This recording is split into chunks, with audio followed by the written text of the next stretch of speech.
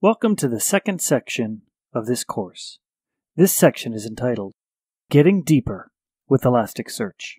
In this section, we're going to take a look at the ins and outs of Elasticsearch. We'll look at how we store and group data using document. We'll specify some document attributes. We'll classify similar documents using type. We'll organize and group documents together with indices. And then we'll dive into getting your data back. We'll look at the huge suite of tools available for Elasticsearch Search. In this first video, we'll look at how we store and group data into documents. We'll take a look at what a document is. We'll rehash some of the information that we've covered before. Then we'll look at the APIs and how we can put a document into Elasticsearch. We'll relate documents together. And then we'll talk about document IDs and document versioning. And then the fun part, we'll talk about why none of that or not much of that really matters, uh, since there's a way you'll be loading your data most likely. All right, let's start talking about a document. So, document in Elasticsearch is, is the thing that you're representing. It's the card, the person, the song, the log entry from a log file. It's the thing. It's the aggregation or the or the different pieces of data attributes that are, when combined, make one document. These pieces of data are called attributes. So they're a string name, so first name, last name, age, date of birth, anything like that. Message, uh, some classification data, anything like that is an attribute. If you think about a key value pair, like in a, a Redis database or some other database, a key value pair is how we define the attributes within a document. So the values we have are what we're going to talk about for a little bit here. Uh, they have types. So like any any relational database or any other database you're probably familiar with, uh, programming languages, etc. All variables have types. So you can have integers, strings, uh, different types of numbers like floats and doubles, uh, longs. You can get into characters, strings. Elasticsearch has a keyword attribute we'll get into and see where we, we can use that.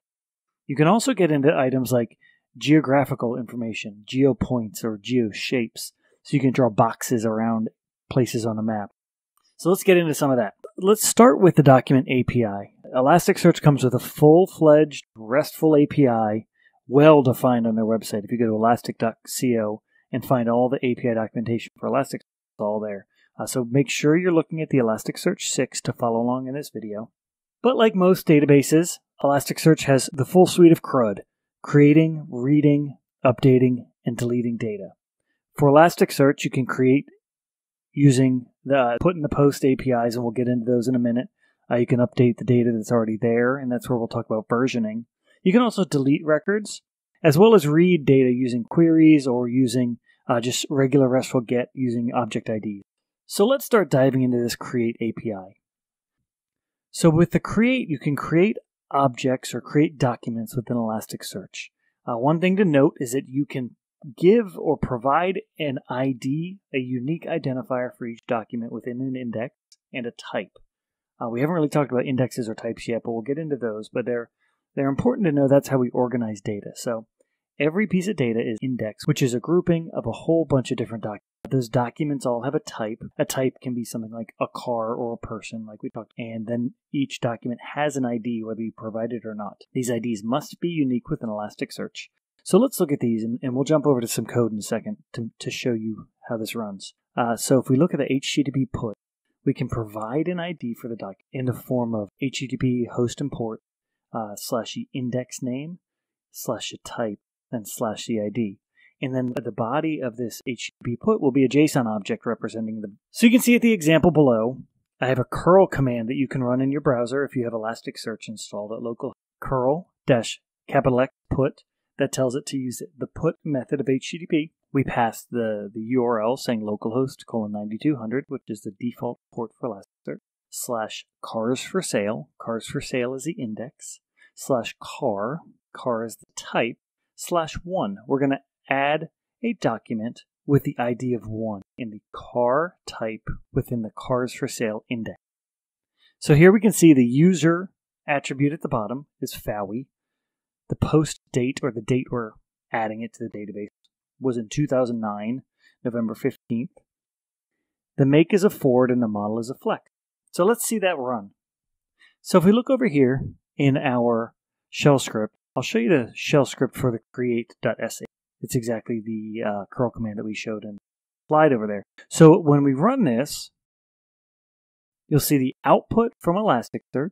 It says it was created in the index cars for sale, type of car, ID is 1, version is 1. The result of the API command was created, and we'll talk about shards later. And you can see that that document was created. Now let's create an object without a provided ID. So again, we'll look at this create noid.sh file, which will be available to you in the code repository after the course. You'll run curl post again, cars for sale index with the car type, and then we'll with no added ID here. Again, we'll pass a car with a user of Fawi, post dated 2009, November 15th. This is a, a Nissan Sentra. So I'll show you what happens when we create with no ID. Now here, look. The document was created in the Cars for Sale index, the type of car, and a very unique looking ID. Uh, so in this case, the ID was created by Elasticsearch because every document needs a unique identifier. All right, let's move on to reading this data. So we know we have a car with the ID of 1 in the cars for sale. I'll show you now how we can run HTTP GET following the standard RESTful pattern of using GET to retrieve data. The get.sh script just executes curl, which is a web client if you aren't familiar, an HTTP curl get localhost cars for sale car slash 1. So we'll execute that and we'll get our Ford Flex. Now here's a fun one. Since I grabbed that ID that was created by Elasticsearch for the other car, let's see what happens. Now we'll look at updating. So updating is how we can set versions on here. Whenever we want to update a document, it's very much like the uh, creation with the ID, but if the ID is already existing, it'll just update the document. So here we can see there's a minor change to the model of the car. It's a Ford Flex SEL. I think that's better than the Ford Flex, but what do I know? So we will run another curl command, putting the same index car sale car slash one for the car with the ID of one. Same user, same post date, same make, but a different model. So you can also add a version parameter for what they call optimistic concurrency control. This allows you to tell Elasticsearch I know you have version 1 in the database. So when I make this put, I'm going to pass in version 1. If somebody else has updated it to version 2 already or version 345, then my HTTP put will fail. It will only update what I expect it to update. It's just something to know when you go and use these APIs in your own application. So here, we'll run the update script, which runs that uh, curl command that we looked at before. And we'll see the index cars for sale, type car, ID. It's the same ID because it's the same document we're updating, but now we have version 2. We can see that it was updated instead of created, just like we expected it to. Now we can delete the car. It's as you would expect. Curl command using the HTTP delete.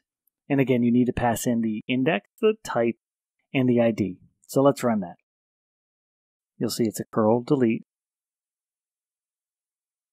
and Elasticsearch will give us the metadata on the return that says it was in the index cars for sale, which is what we passed in. Type car ID1 version 3. Result was deleted. So now when we go and run that get command again, what do you think will happen? Found is false. There is no car with the ID of 1.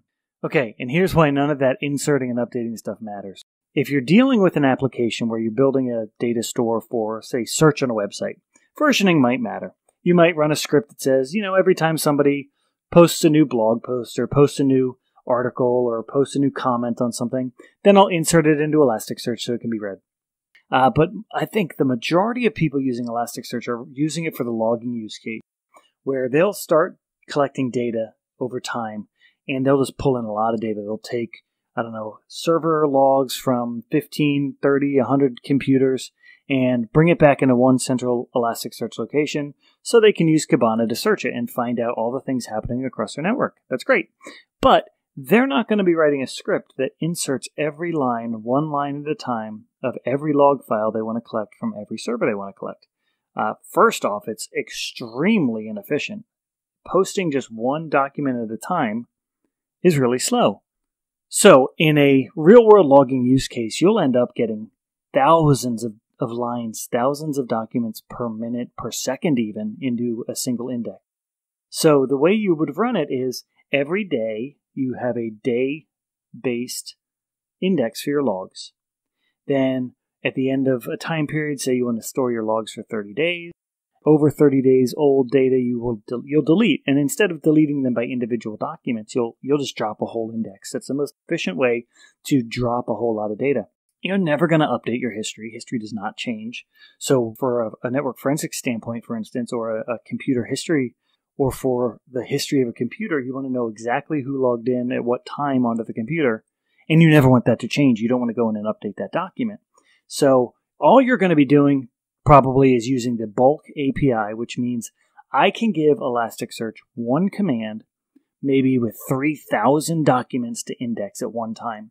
And the turnaround time for Elasticsearch to index that 3,000 is very, very similar to indexing one document, uh, but you just saved a HTTP request 3,000 times. So the time for that network latency is, is saved. So what we're going to do here, I'm going to show you an example so the bulk API is a little different than the regular document APIs. Here you can see we have the same local host, but we have this new endpoint called underscore bulk. This means I'm going to give bulk or a long list of commands for Elasticsearch. It's not only inserts, we can also update, we can also delete, uh, but you'll primarily see it as the indexing endpoint. So here you can see I'm going to, it's a multi-line file. So you'll see all these lines are not one valid JSON object. It's actually one, two, three, four, five, six lines. Each line is its own valid JSON object, followed by a new line character. So you'll see the first command I'm saying is index this document of type car in the index